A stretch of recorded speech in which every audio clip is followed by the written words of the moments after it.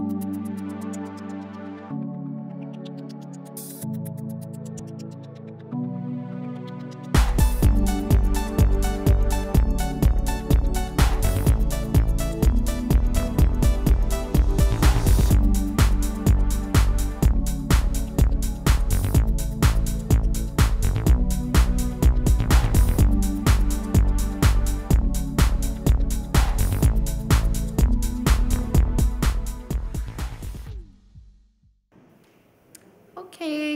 afternoon, everybody.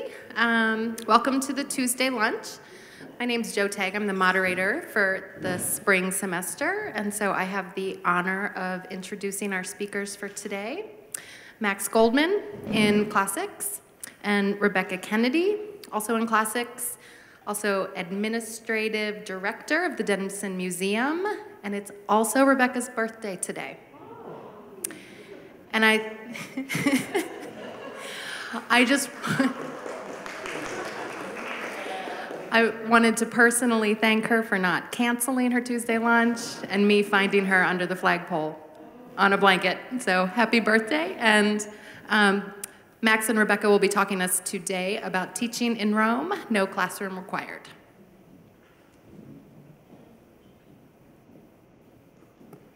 Work, is this working?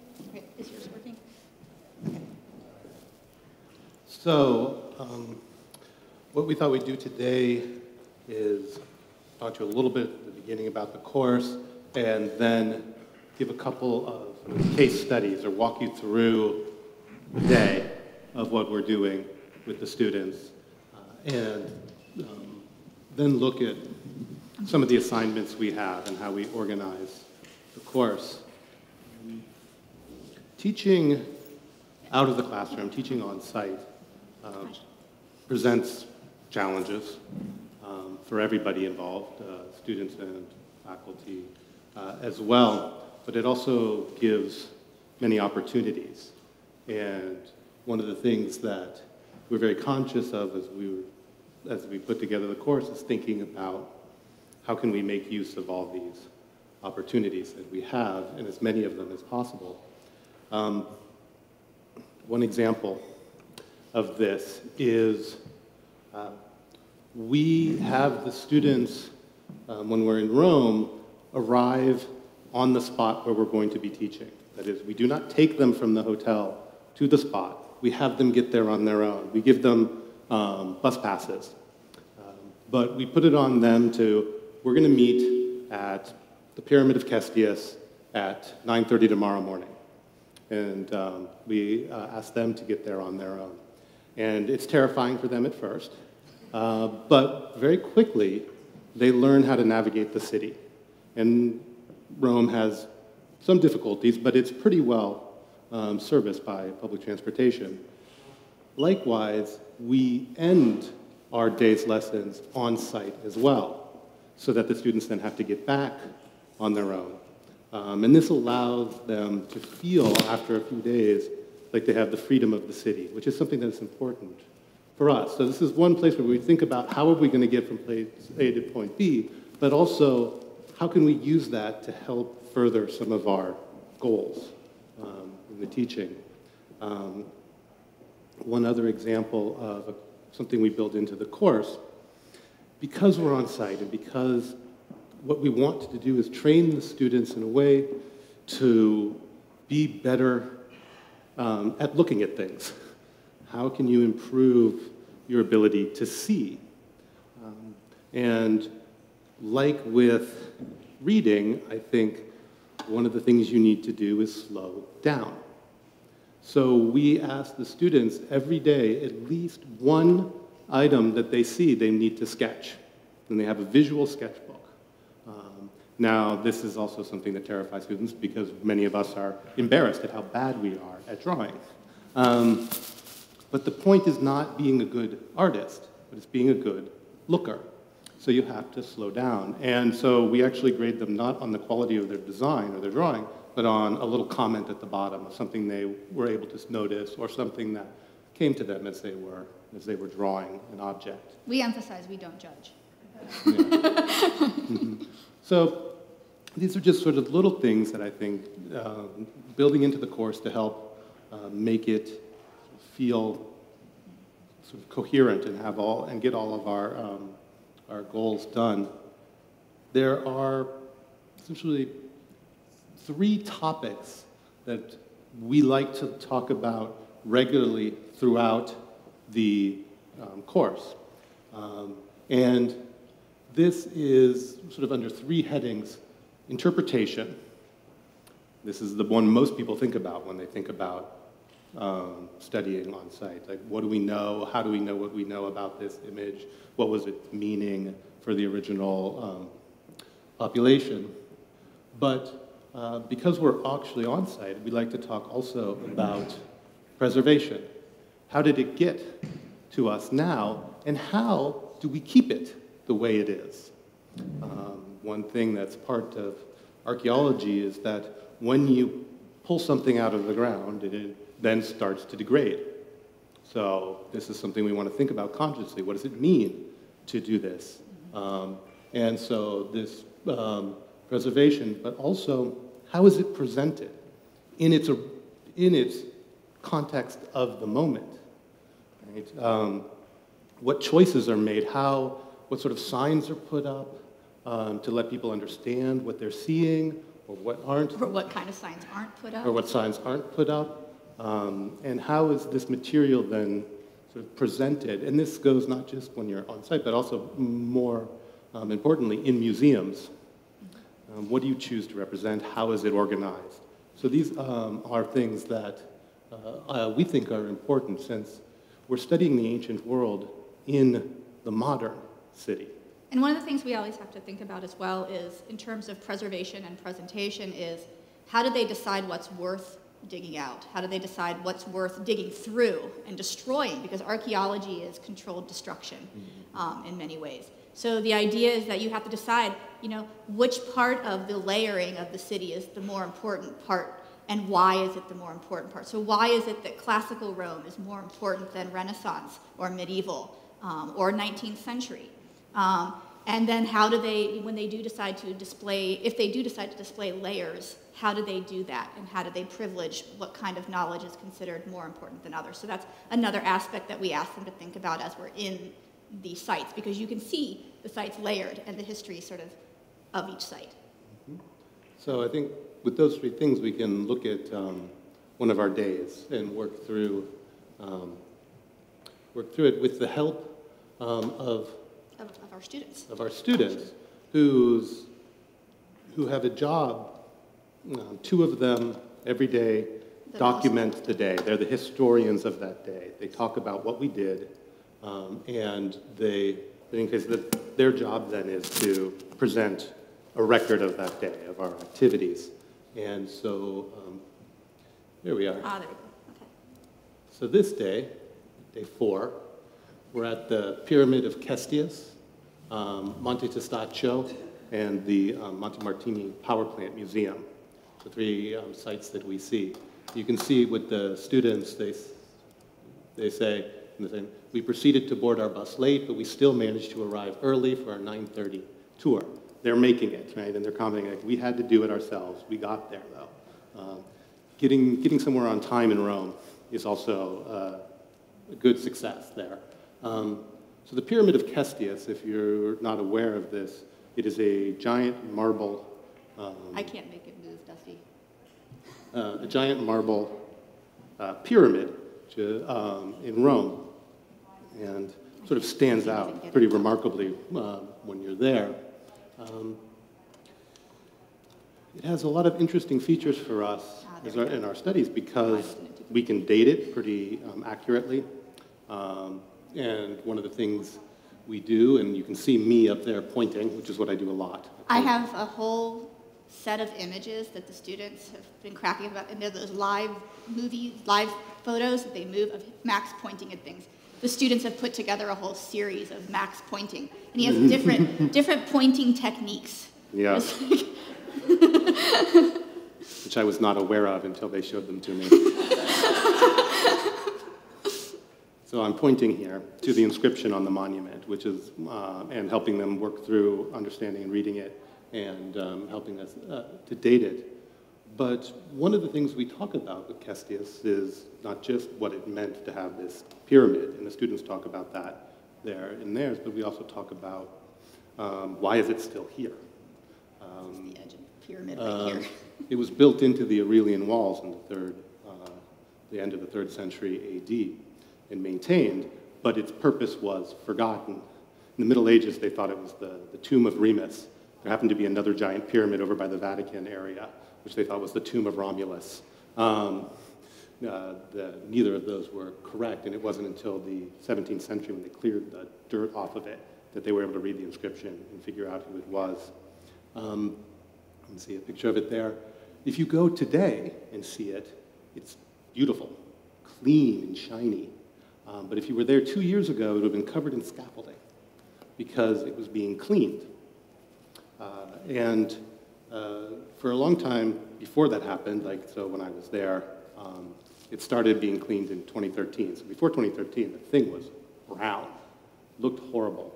And many people believed that it was because it was in a, a roadway it had um, all that uh, smog on it. But in fact, it was a fungus that was growing all over it.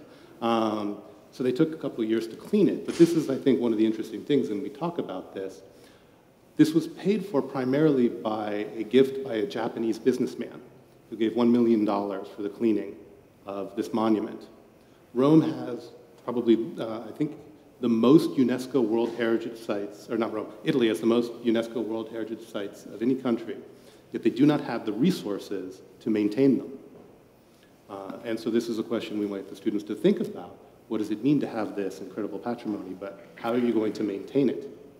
Um, so it's beautiful now, um, and we make special um, permissions. Um, you can't just go in, um, but if you get a permission, you can go in, uh, and we do.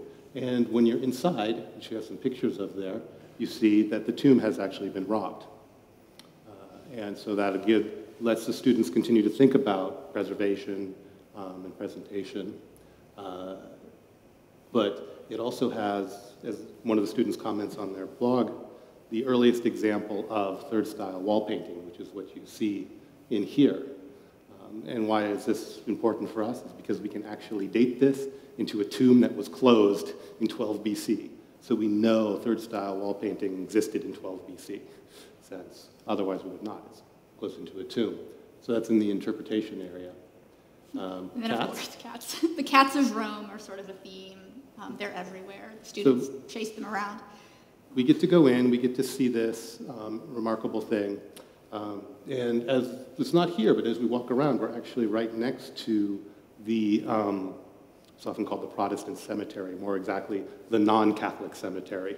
Um, uh, and uh, there we can see, um, just on our way past, as we walk by, we stop and we see uh, the grave of Keats um, as well. So there's always these little opportunities, particularly in Italy, but in Rome and many places you go. If you're just on passing, you can see things um, as well. Yeah. Should I move faster? A little bit. Okay. Um, the Montemartini Power Plant Museum, did you want to talk about this? Yeah, I'll talk. This is actually my favorite museum in the world. Um, so one of the things we do on the same day is we take the students to the Montemartini Power Plant Museum. And um, it's called the Power Plant Museum because it's actually in a power plant. Um, this was a power plant that was built in the 1930s, I think, um, and it wasn't being used. And then for a, a sort of, the Capitoline Museum had an excess of artworks, and they decided to do a one-time show there um, and it was considered so compelling that they decided to make it into a permanent museum.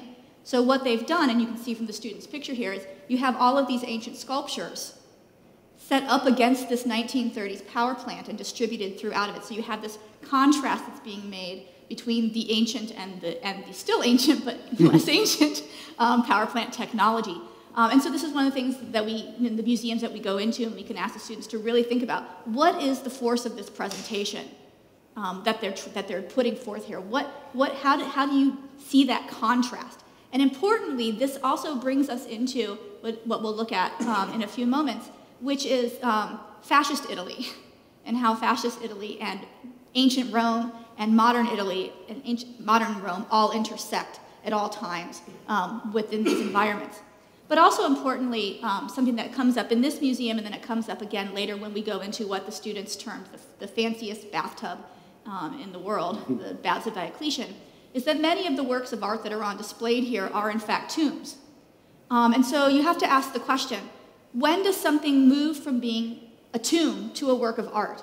Um, and this gets to the heart of where museums themselves originate, which is they originate in two spaces, in colonialism and in connoisseurship.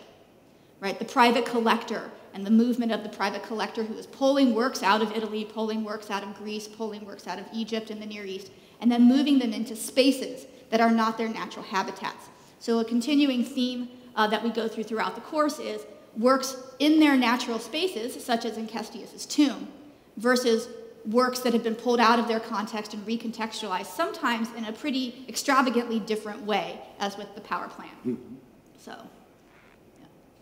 The, um, then we take them to pastries as well. Yeah, Andreotti, which is nearby here, is one of my favorite pastry shops in Rome. And so we make a stop. This is the other thing we teach them in Rome is where the really good food is. and cheap. And then the last bit, we get a special um, permesso to climb up Monte Testaccio. Uh, Monte Testaccio is not one of the famous seven hills of Rome. It is a um, pile of trash. It's a pile of trash. It is a man-made hill of about 100 years of amphora or um, big clay pots that are broken and piled up on top of each other. Uh, right and so you can see a piece there, but the whole hill is just a hill of broken pot shards. And we get to walk up this hill and look at the various pot shards and talk about them. But what it does is it serves us as an incredible way of talking about what kind of city is Rome um, in the standard consumer model as a city that brings material from abroad and consumes it in the city. It's not producing things and sending them out. It's bringing them in and consuming them. And then and, you have to deal with the trash and then you have, behind. of course, all the trash. Um, the students often like this one because um, we're able to um, actually touch the, the uh, shards. We have to make sure everyone has their tetanus shot before they go with us to Rome. Um. yeah, this is one of the places where we say you must wear closed-toed shoes as you walk up the mountain of trash.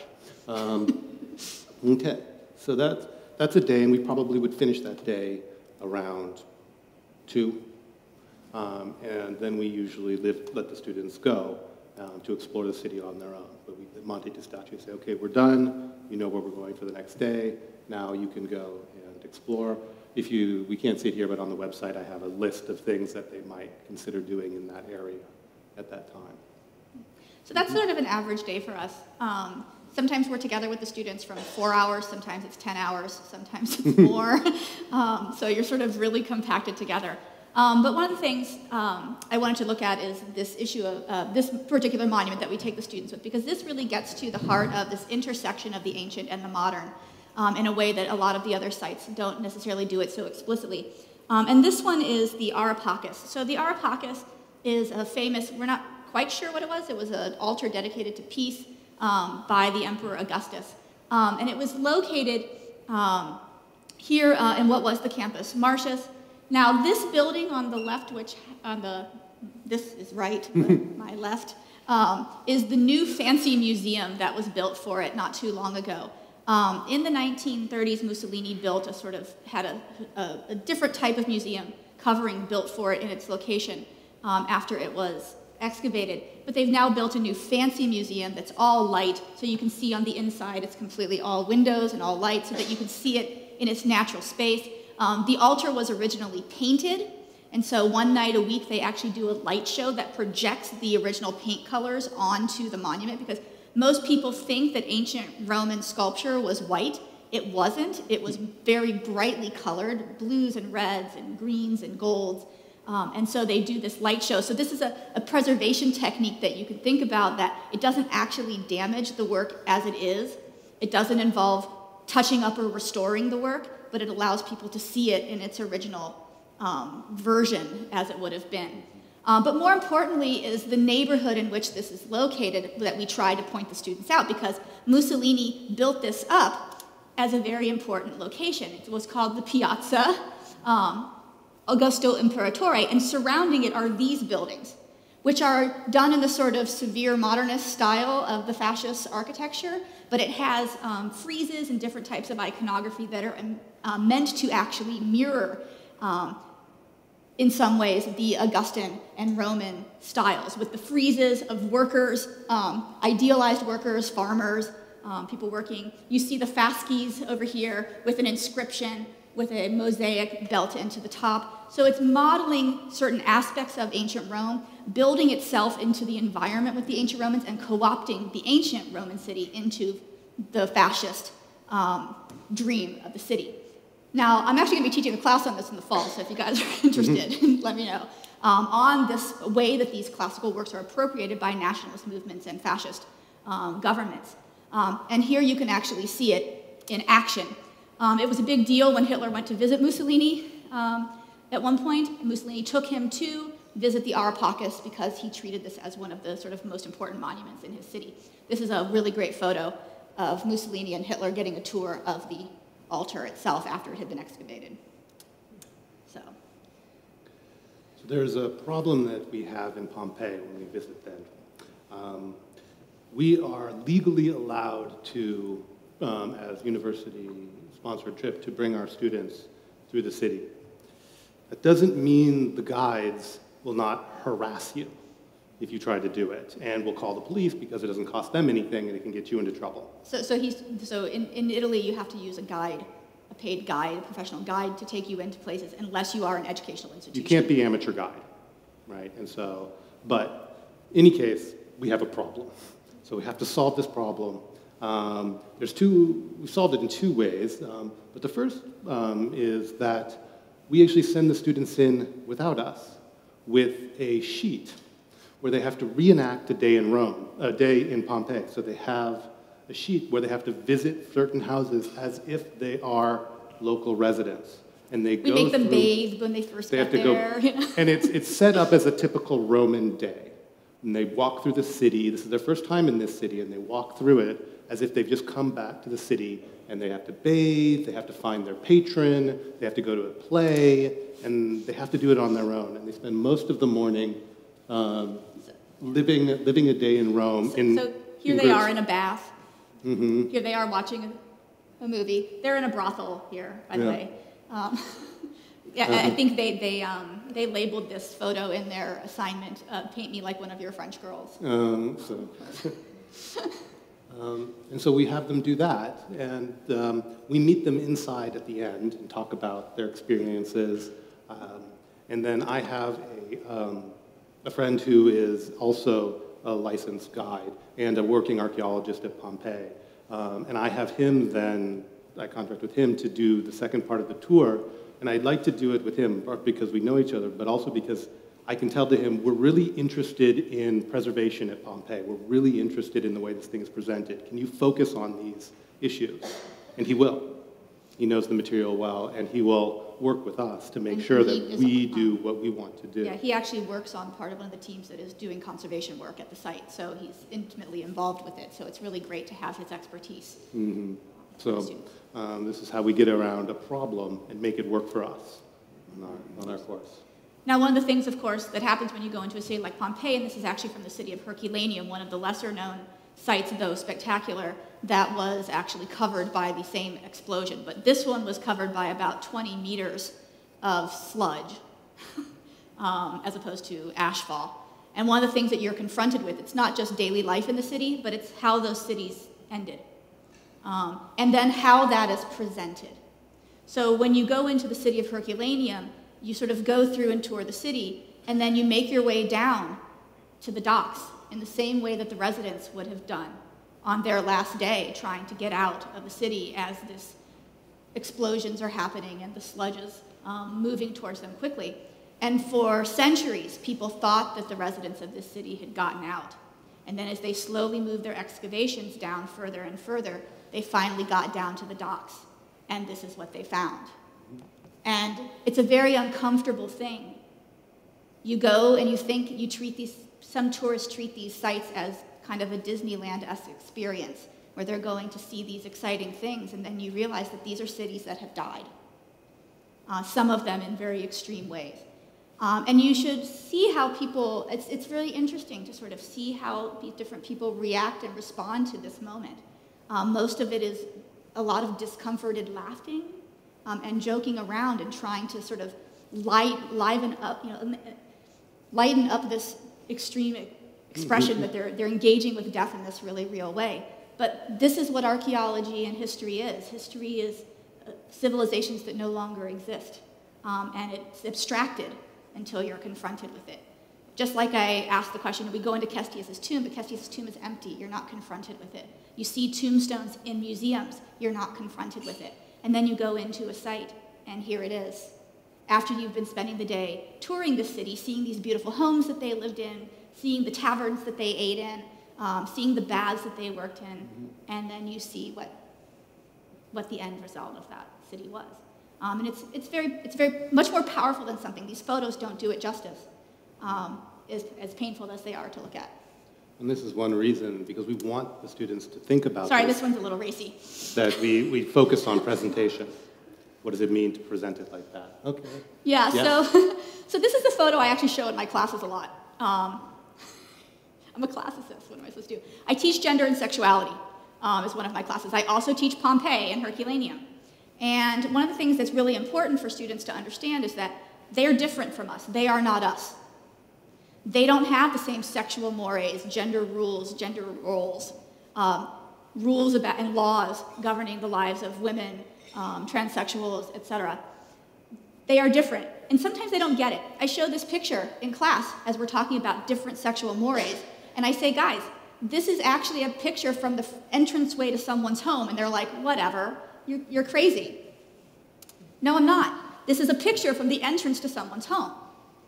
When you hmm. see a picture in isolation and you see it in a museum wall, it's very different. You can not believe its context. You can think that this is somewhere something that would be hidden, that's pornographic by this culture. But then you walk into the front door of this home, and there it is.